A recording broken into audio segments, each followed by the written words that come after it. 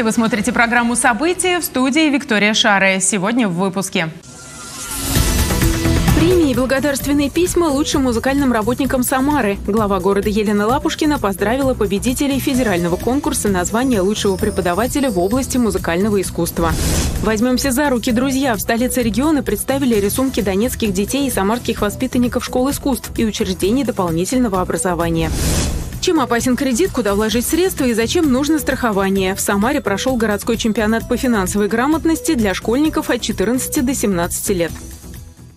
Самарской области в следующем году направит 50 миллиардов рублей на меры поддержки семей с детьми. Это исторический максимум. Прирост составляет 15 миллиардов. Об этом заявил губернатор Дмитрий Азаров на оперативном совещании в правительстве региона. По словам в РИО министра социально-демографической и семейной политики Регины Воробьевой, в Самарском регионе действуют 27 финансовых мер соцподдержки семей с детьми, в том числе 23 региональных и 4 федеральных. В 2024 часть мер войдет в состав единого пособия пособия. С 2017 года финансирование этих мер поддержки увеличилось более чем в 7 раз. По прогнозам на 24 количество получателей мер соцподдержки семей с детьми в Самарской области превысит 318 тысяч человек. В Министерстве культуры России подвели итоги конкурса на звание лучшего преподавателя в области музыкального искусства за 2023 год. В этом году он прошел уже во второй раз. Напомню, премии были учреждены указом президента России.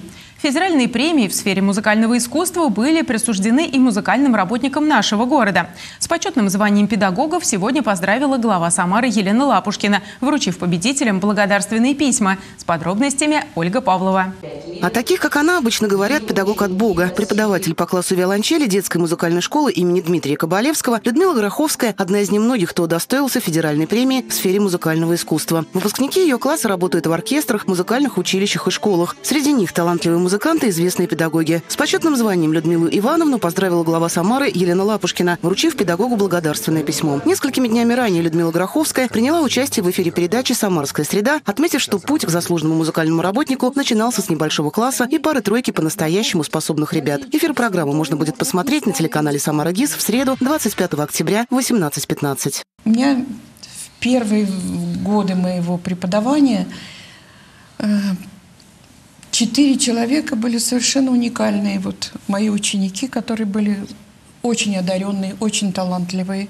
И вот с них начинался ансамбль. То есть мы брали очень серьезные программы и выступали, и выступали даже на сцене филармонии. Потом он прирастал, вот, и становился больше и больше. Одно время было замечательное, когда дети сами организовали свой ансамбль «Апокалиптика». Это вы знаете, такой финский квартет виолончелистов. Благодарственного письма от имени главы города удостоился еще один победитель федерального конкурса на звание лучшего преподавателя в области музыкального искусства за 2023 год. Им стал преподаватель по классу балалайки детской музыкальной школы имени Петра Чайковского, заслуженный работник культуры Сергей Мамченко, который воспитал целую плеяду талантливых учеников. Многие из них за высокие достижения в учебе награждены стипендиями и премиями федерального и регионального уровней. На награждении в мэрии Самары Сергей Николаевич отметил свою коллектив коллектив и подчеркнул, что победа общая. Администрация э, музыкальной школы имени Чайковского, методисту нашему за большой, за большую помощь, да, которую они оказали вообще в получении этой награды. Всем большое спасибо. В этом году федеральный конкурс прошел уже во второй раз. В нем приняли участие более 50 регионов нашей страны. Премии были учреждены в 2022 году указом президента России. Ольга Павлова, Николай Епифанов. События. 7 ноября в Самаре пройдет парад памяти. В нем примут участие более 100 парадных расчетов, половина из которых юноармейцы, кадеты, военно-патриотические клубы Самарской области. Традиционно приедут участники парадного прохождения из всех регионов Приволжского федерального округа, из других регионов страны, а также из города Снежное Донецкой Народной Республики и из города-героя Бреста Республики Беларусь. Напомню, впервые военный парад прошел на главной площади запасной столицы 7 ноября 1941 года. Шествие в этот день проходило так также в Москве и в Воронеже, чтобы поднять дух советских людей и продемонстрировать миру готовность народа сражаться с врагом до победы. В нашем городе парад был самым многочисленным и продолжительным. В течение двух часов в нем приняли участие 25 600 человек.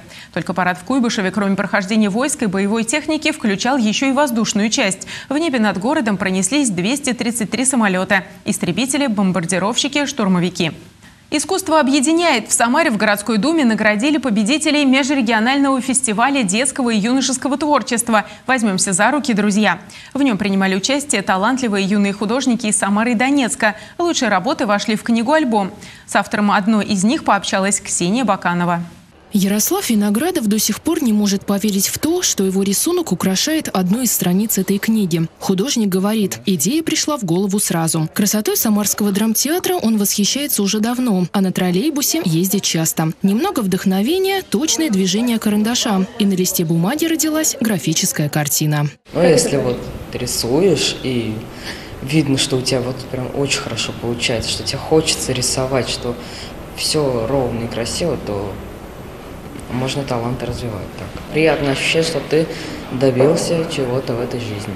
В Самаре наградили участников межрегионального фестиваля детского и юношеского творчества «Возьмемся за руки, друзья». В нем принимали участие юные художники из Самары и Донецка. Лучшие работы украсили книгу-альбом. Мы взяли тему, это «Любовь к малой родине», и дети через рисунки отобразили свое отношение к городам, в которых они живут, к любимым местам, которым, так сказать, э, приходят где-то ежедневно, где-то с друзьями в рамках э, досуга. Участникам конкурса вручили дипломы и подарки от городской думы. Ксения Баканова, Николай Епифанов. События. В Самаре продолжается строительство станции метро «Театральные». Метростроители трудятся в районе областного арбитражного суда и сквера имени Устинова. В этой части расположится самая глубокая точка будущей линии метрополитена. Она достигнет уровня 28 метров. На указанном участке встретятся два тоннеля проходческих комплекса. Один пойдет от улицы Галактионовской, другой от Полевой. На улице Самарской появятся также водоотливные, вентиляционные и другие притоннельные сооружения метрополитена. Для этого понадобится вырубка части части зеленых насаждений. Не менее важен и вопрос на перспективу. Он касается восстановления озеленения после производства всех работ на Самарской, связанных с метростроем. Над конструкцией будущего подземного сооружения деревьев быть не должно, поэтому участок засадят кустарниками и травой. Деревья же новые саженцы расположатся в соседних локациях. Среди актуальных задач остается и завершение расселения жителей домов, попадающих в зону метростроя. Новая станция завершит первую линию Самарского метрополитена. После строительства подземного подземка станет более востребованной, поскольку свяжет удаленные районы города с его исторической частью. Театральная позволит горожанам без пробок с комфортом добираться с окраин, например, с Безымянки, до центра Самары и обратно и чаще посещать театры, музеи и другие социокультурные площадки. Все мы хотим попасть именно на площадь Куйбышева на какие-то мероприятия, да? Мы хотим попасть на набережную на какие-то мероприятия. Ну и э, хочется же э, комфорта, да? И, а, а если будет метро, мы будем из метро выходить и сразу заходить в театр театр и, и будем подать на площадь Куйбышева. И мы э, настолько рады будем, э, и мы уже рады, что строится, а когда открытие будет, это будет вообще шикарно. В областной столице запретили парковку на ряде участков улиц. Ограничения связаны с увеличением пропускной способности автодорог. ГИБДД города информирует водителей о введении ограничений на участке улицы Авроры от аэродромной до Дыбенко и на улице Гагарина на протяжении 300 метров в каждую сторону от перекрестка с улицей Авроры. Парковка в этом месте разрешена только в специально обустроенных карманах. По мнению дорожных полицейских, эта мера повысит пропускную способность улиц, так как позволит использовать для движения крайние правые полосы, которые сейчас заняты припаркованными автомобилями. Городские власти держат на контроле ситуацию, сложившуюся с домами, расположенными по адресам Алексея Толстого, 30, Куйбышева, 61 и Маяковского, 37. Дома признаны аварийными, тогда как жители уверяют, причин для этого нет. Подробнее в нашем сюжете. Лариса Айдарова проживает в 30-м доме по улице Алексея Толстого. Здание 1917 года постройки является объектом культурного наследия. Фонд капитального ремонта уже разработал проектную документацию на ремонт крыши, фасадов и фундамента. Заключены контракты на выполнение работ. Но в сентябре выяснилось, что здание признано аварийным. Об этом жители узнали от сотрудников фонда капитального ремонта, когда те приостановили работы. Фундамент и э, основные несущие конструкции крыши, они признаны признали ограниченно работоспособными, а стены признали аварийными. При этом крена у наших стен нет, дом стоит прямо. Похожая ситуация еще по двум адресам – Куйбышева, 61 и Маяковского, 37. Оба здания также являются объектами культурного наследия. В обсуждении судьбы зданий приняли участие представители Департамента управления имуществом Самары, главы районов и депутат Государственной Думы Российской Федерации Александр Хинштейн. Он напомнил, что опыт решения похожих проблем имеется. Коллеги, ну, очевидно, что здесь такая же схема, как Дом просвещенцев. Давайте тогда определим сейчас алгоритм, каким образом этот объект будем выводить с реестра аварийных. На встрече с жителями было решено провести дополнительную экспертизу, чтобы оценить состояние зданий. Обследование очень поверхностное. Мы настаиваем на том, чтобы было обследование проведено объективно, инструментально. Будет дополнительный выезд еще совместно с со всеми, кто присутствовал на совещании, также сами с Александром Алексеевичем Хинштейном будет сегодня произведен выезд на эти адреса, и окончательно будет принято решение уже как раз на местах. Это уже будут принимать решение это жители. Городские власти держат ситуацию на контроле. Ксения Баканова, Виктория Шара, Николай Сидоров. События. Далее коротко о других темах дня. Единое время запрета на шум планируют установить с 23.00 до 7 утра во всех регионах России. Кроме того, единое время проведения шумных строительных работ будет установлено в период с 9.00 до 19.00 с обязательным перерывом с 13.00 до 15.00 и исключительно в будние дни. Кроме того, жильцы смогут назначать уполномоченных по дому из числа собственников или представителей управляющих компаний для проведения профилактики и выявления нарушений запрета на шум. Новым проектом предлагается ввести следующие штрафы. За первое нарушение нарушение тишины в установленное время для граждан в размере от 500 рублей до 2000, для должностных лиц от 5 до 10 тысяч рублей, а для юридических от 20 тысяч до 50 тысяч рублей. При повторном нарушении последует наложение административного штрафа на граждан в размере от 2000 до 5000 рублей, на должностных лиц от 10 тысяч до 20 тысяч рублей, на юридических лиц от 50 до 100 тысяч рублей. Российским автомобилистам разрешили устанавливать спереди так называемые квадратные номера. Росстандарт уже внес изменения в ГОСТ, а ГИБДД направила в регионы соответствующие разъяснения. Особенно актуальными квадратные знаки были для владельцев, в частности, некоторых японских автомобилей, где штатные заводские крепления не предусматривают стандартных прямоугольных номеров. Ранее нестандартные регистрационные знаки было разрешено устанавливать лишь сзади автомобиля. За установку на переднем бампере ранее полагался штраф в 500 рублей. Сотрудники госавтоинспекции подвели итоги рейдов за выходные. Об этом сообщили в Главном управлении МВД Российской Федерации по Самарской области. В состоянии опьянения допустили управление транспортом 52 водителя за нарушение светопропускаемости стекол автомобиля в результате незаконной тонировки к ответственности привлекли 165 автомобилистов. Также 37 водителей нарушили правила перевозки детей. По итогам мероприятий выявили 78 правонарушений со стороны пешеходов и 85 со стороны водителей. Участников дорожного движения призывают не терять бдительности и не нарушать правила дорожного движения. В Самаре задержали 18-летнего парня, которого подозревают в обмане двух пожилых женщин и воровстве 250 тысяч рублей, сообщили в главке МВД России по Самарской области. По версии следствия, молодой человек орудовал в Новокуйбышевске. Он выполнял роль курьера, забирал у пожилых женщин деньги под предлогом помощи якобы попавшим в ДТП родственникам и переправлял их на разные счета через банкоматы, оставляя себе процент. По словам задержанного, действовал он по указанию анонимного куратора, с которым познакомился в интернете. В полиции стало известно о махинациях после обращения 85-летней и 89-летней пенсионерок. Возбуждены уголовные дела по статье мошенничества. Так называемого курьера задержали на железнодорожном вокзале в Самаре. Он признал свою вину. Спрос на путевки из России в Египет упал на 4% по сравнению с показателями двухнедельной давности. Вместе с этим снизились и цены на туры, в среднем на 25-31%. С высокой долей вероятности к падению стоимости туров в Египет привела эскалация конфликта в соседних странах. Россиян предупредили о новых схемах мошенничества, которые связаны с появлением новых банкнот номиналом в одну тысячу и пять тысяч рублей. Злоумышленники могут начать звонить людям от имени социальных служб и Центробанка и убеждать срочно поменять старые купюры на новые, иначе они якобы сгорят. Также мошенники используют настороженные отношения пожилых людей к незнакомым купюрам, предлагая у банкоматов обменять их на привычные мелкие банкноты. Эксперты подчеркивают, что никакой срочной необходимости менять деньги нет. Старые купюры будут находиться в обращении одновременно с новыми. Гражданам не стоит поддаваться на уловки мошенников и торопиться менять деньги. Решали финансовые задачи, искали ответы на вопросы, чем опасен кредит и куда вложить средства. В Самаре прошел городской чемпионат по финансовой грамотности для школьников от 14 до 17 лет. Какие перспективы откроются перед победителями, расскажем в нашем материале.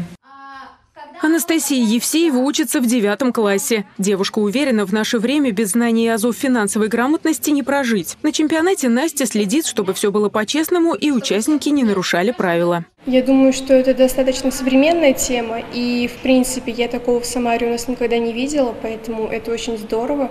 И то, что ребята этим занимаются, это тоже очень интересно, поэтому я надеюсь, что это будет развиваться и дальше, и выйдет на всероссийский уровень. Я буду отвечать за нарушения, то есть командам запрещено между собой разговаривать, и командам запрещено пользоваться телефоном. Я буду за этим следить. Городской чемпионат по финансовой грамотности для школьников от 14 до 17 лет в Самаре проходит впервые при поддержке Департамента образования. Для того, чтобы принять в нем участие, нужно было собрать команду от учебного заведения и пройти отборочный этап онлайн. Приглашения рассылали во все школы города. В итоге было отобрано 8 команд, которые встретились в финале. Им предстояли коммуникативные бои, где есть некое утверждение, которое нужно подтвердить или опровергнуть. Это, несомненно, полезно, потому что, к сожалению, в школе пока не введена финансовая грамотность как обязательный предмет.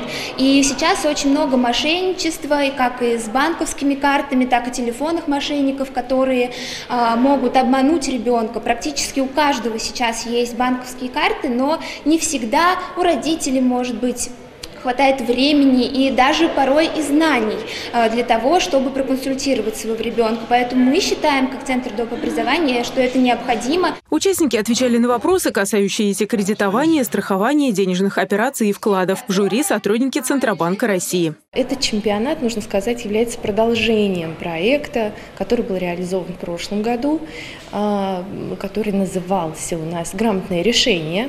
В рамках этого проекта мы обучали Э, школьников финансовой грамотности.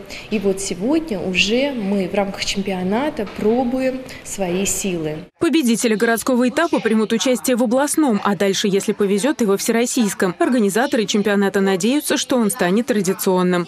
Виктория Шарая, Николай Сидоров. События. 23 октября отмечают Международный день снежного барса или Ирбиса. Начало этому празднику положил Всемирный форум по сохранению снежного барса в Бишкеке, организованный в 2013 году. Участники форума приняли глобальную стратегию по сохранению 20 ландшафтов с жизнеспособными популяциями снежного барса. Эти животные внесены в Красную книгу. Они по-прежнему малоизучены, поскольку обитают в труднодоступных местах, ведут сумеречный образ жизни и охотятся поодиночке. По оценкам экспертов, в России России насчитывается не более 90 ирбисов, но точно их число неизвестно. Сейчас ученым приходится вручную смотреть сотни часов видео с камер, расставленных в заповедниках, чтобы вести учет редких животных. Специалисты Яндекса и школы анализа данных разработали нейросеть, которая распознает 10 разных видов животных на изображениях и видео, полученных с помощью фотоловушек. Нейросеть находит животных на снимках в десятки раз быстрее, чем человек. Технология поможет ученым более эффективно изучать ирбисов в естественной среде обитания и понять, как можно защитить их популяцию. Крылья Советов уступили в Санкт-Петербурге действующему чемпиону страны «Зениту». Баскетбольная «Самара» на домашней арене одолела действующего чемпиона лиги «Уникс» из Казани. А самарские дзюдоисты привезли в регион 11 медалей. Об этих и других новостях наши корреспонденты расскажут в рубрике «Новости спорта». 2024 год в России могут объявить годом спорта. Идею поддержал президент страны Владимир Путин, выступая на 11-м международном спортивном форуме «Россия – спортивная держава», который завершился в эти выходные в Перми. Форум стал рекордным по количеству участников и стран. Участие в деловой программе приняли более 5000 человек из 50 государств. В одном из круглых столов приняла участие в Рио министр спорта Самарской области Лидия Рогожинская. Она рассказала, что в Самарском регионе осуществляют деятельность 117 аккредитованных спортивных федераций по 118 видам спорта, из которых 22 вида спорта определены базовыми для Самарской области. Сборная России заняла первое место в медальном зачете игр стран БРИКС, которые прошли в ЮАР. Россияне завоевали 59 медалей, из которых 35 золотых, 12 серебряных и 12 бронзовых. Второй в общем командном зачете стала сборная Китая, завоевавшая 55 наград. На третьей строчке расположилась команда ЮАР, у них 51 медаль. Четвертое место заняла Индия. Атлеты этой страны заработали 27 медалей. В составе российской команды выступали 34 спортсмена в шести видах спорта. Крылья Советов уступили в Санкт-Петербурге действующему чемпиону страны «Зениту». Счет в матче открыли хозяева поля на 53-й минуте встречи. С передачи Ивана Сергеева отличился Вендал 1-0. На 65-й минуте Кассьера забил второй мяч в ворота самарцев, но он не был засчитан из-за игры рукой Мантуана. На 80-й минуте Вендал ударом из штрафной оформил в матче дубль 2-0. В компенсированное время на шестой добавленной минуте встречи вышедший на замену Андрей Мостовой довел счет до 3-0. На седьмой минуте, компенсированный к основному времени, Роман Ежов получил мяч от Владимира Хубулова, отправил его в сетку. Итог игры 3-1 в пользу хозяев поля. В следующем матче «Крылья Советов» на домашнем поле примут Оренбург. Игра состоится в субботу 28 октября в 17.30. Баскетбольная «Самара» одолела действующего чемпиона Лиги ВТБ. Матч «Самары» с казанским «Униксом» прошел во Дворце спорта, а перед поездкой в 63-й регион казанцы одержали три победы подряд, каждая с разницей в 18 очков и более. На протяжении всей встречи игра с казанцами была равной, но в финале «Самара» одержала победу, счет составил 104-93. В Оренбурге состоялось первенство Приволжского федерального округа под дзюдо среди юниоров и юниорок до 21 года. В соревнованиях приняли участие 244 спортсмена из 14 регионов округа. Сборную Самарского региона представляли 35 человек, 23 дзюдоиста и 12 дзюдоисток. 11 из них вернулись с медалями. В копилке региона две золотые медали, две серебряные и 7 бронзовых наград.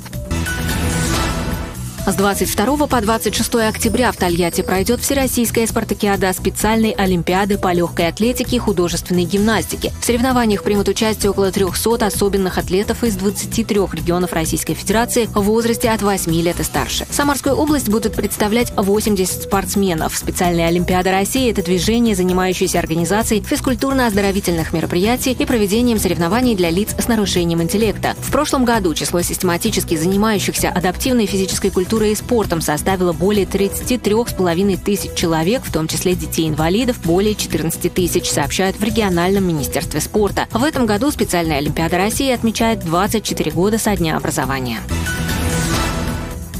29 октября во Дворце легкой атлетики пройдет осенний фестиваль городского округа Самара Всероссийского физкультурно-спортивного комплекса «Готов к труду и обороне». Принять участие могут жители Самары в возрасте от 6 лет. Среди нормативов наклон вперед из положения стоя с прямыми ногами на гимнастической скамье, рывок гири, прыжок в длину с места толчком двумя ногами, челночный бег и многое другое.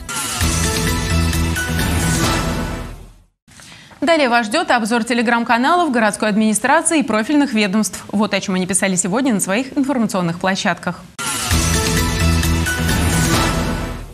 Мобильное приложение госуслуги.дом позволяет гражданам не только участвовать в жизни своего дома, но и взаимодействовать с управляющими и ресурсоснабжающими организациями онлайн, сообщает телеграм-канал городской администрации «Вести с Дворянской». В приложении можно передавать показания и следить за историей расходов в одном месте, направлять заявки в управляющую организацию и оперативно получать ответ, просматривать и оплачивать счета за ЖКУ, участвовать в юридически значимых общедомовых собраниях онлайн, контролировать график работ по капитальному ремонту, проверять, все ли услуги оказывает управляющая компания. Авторизоваться в приложении можно через подтвержденную учетную запись на портале госуслуг. Данные о недвижимости пользователя загрузятся автоматически. В случае отсутствия информации необходимо вписать данные самостоятельно и направить заявку в мобильном приложении.